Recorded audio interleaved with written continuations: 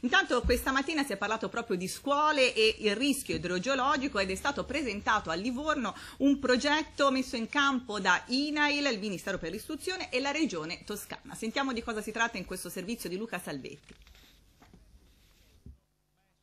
INAIL, Regione Toscana, Ministero dell'Istruzione e Università degli Studi di Firenze hanno un obiettivo, diffondere la conoscenza e la consapevolezza dei rischi idrogeologici, sfruttare la conoscenza, l'innovazione e l'educazione per sviluppare la cultura della sicurezza geologica nelle scuole. Per questo un incontro a Livorno, dottor Sebastiani, è stato fatto un quadro preciso che riguarda tutta la regione. Un quadro molto preciso perché qui c'è un progetto che coinvolge 15 scuole e queste 15 scuole verranno appunto monitorate e il tema è particolarmente eh, importante, serio, degno di essere trattato perché non siamo mai pronti di fronte a dissesti di questo tipo e puntualmente purtroppo ogni anno dobbiamo rimarcare queste cose. Quindi siccome abbiamo da una parte sia la vetustà degli edifici, sia la costruzione in zone che magari potevano essere neanche nelle condizioni ideali,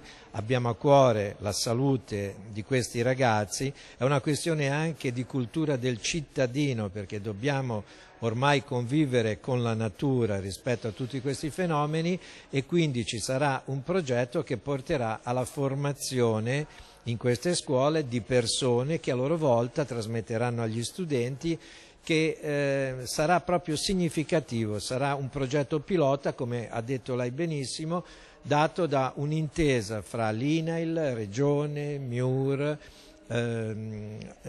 USR regionale e quindi quanto di meglio possa essere sul territorio.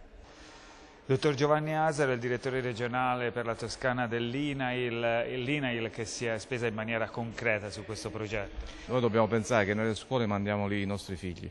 e ci sono situazioni in cui l'ambiente idrogeologico o le strutture sono assolutamente fatiscenti. Ci sono lì lavoratori all'interno di queste scuole che effettuano attività lavorativa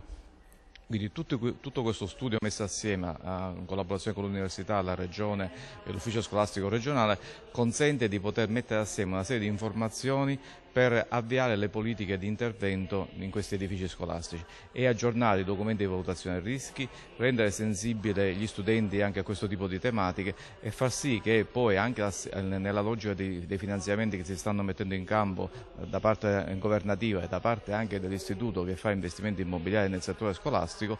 si possano avere scuole più sicure per i nostri eh, figli.